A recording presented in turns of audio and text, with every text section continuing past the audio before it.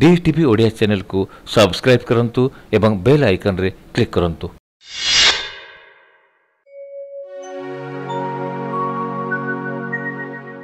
ଶରୀରକୁ ଭଗବାନଙ୍କର ମନ୍ଦିର ମନେ କରି ଆତ୍ମ ସଂଯମ ଏବଂ ନିୟମିତତା ଦ୍ୱାରା ଆରୋଗ୍ୟର ରକ୍ଷା କରିବା।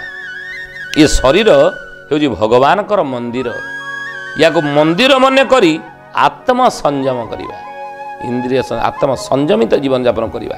ଏବଂ ନିୟମିତତା ଦ୍ୱାରା ଯେଉଁ ଯେଉଁ ନୀତି ନିୟମ ସବୁ ଋଷି ମୁନି ସାଧୁ ସନ୍ତମାନେ ପୁରାଣ ଶାସ୍ତ୍ରରେ ସବୁ ଲେଖିଛନ୍ତି ମଣିଷ ଜୀବନର ଚଳଣି ପାଇଁ।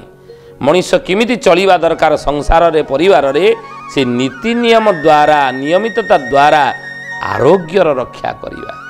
ଶରୀର ସୁସ୍ଥ ରହିଲେ ଆମେ ସବୁ କାର୍ଯ୍ୟ ଠିକ୍ ସେ କରିପାରିବା ଠିକ୍ ରୂପରେ କରିପାରିବା। ଇଏ ହେଉଛି ଆଜିର ଅନୁଚିନ୍ତା। ଆଜି ପାଇଁ ତ ଏତିକି। ବାଣିକି ଆସନ୍ତୁ ବିରାମ ଦେବା।